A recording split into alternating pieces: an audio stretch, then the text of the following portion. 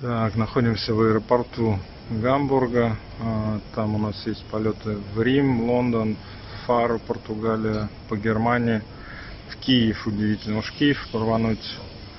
Вообще никого нету в аэропорту. Пустота. Все магазины закрыты. Открыты только информационные э, киоски.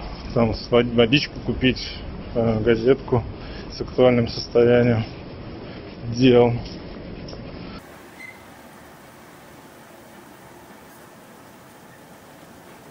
Там все-таки есть люди? Надеюсь. Все исчезли. Все исчезли. Куда все исчезли, меня это начинает пугать.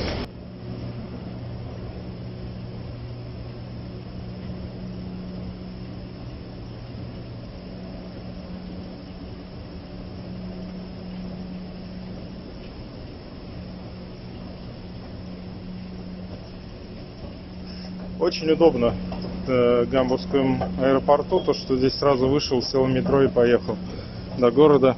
Максимум до центра 30 минут.